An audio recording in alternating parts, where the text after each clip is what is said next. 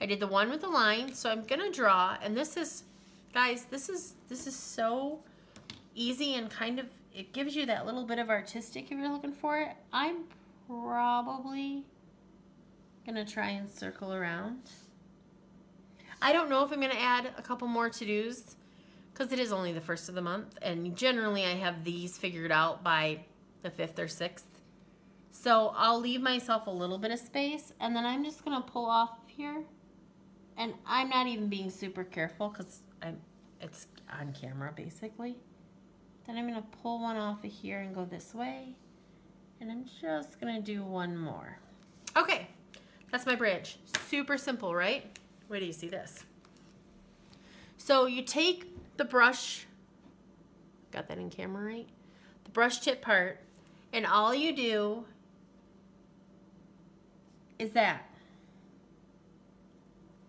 And there's your, there's your, uh, your leaf, your, whatever you want to call it. And if the more you push, like the further out you go, like if you use more of the brush, the bigger it is.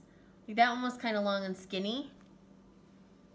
And then if you want to just do the tip and make a smaller one.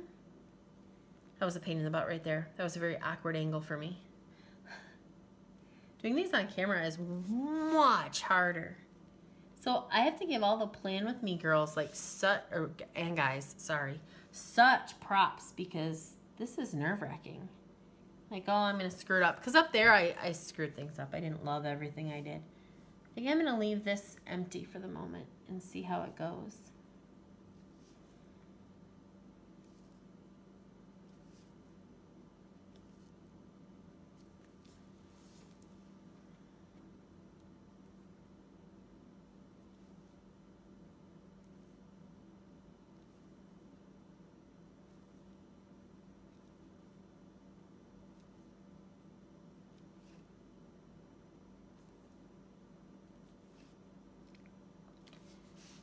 That, that bugs the crap out of me.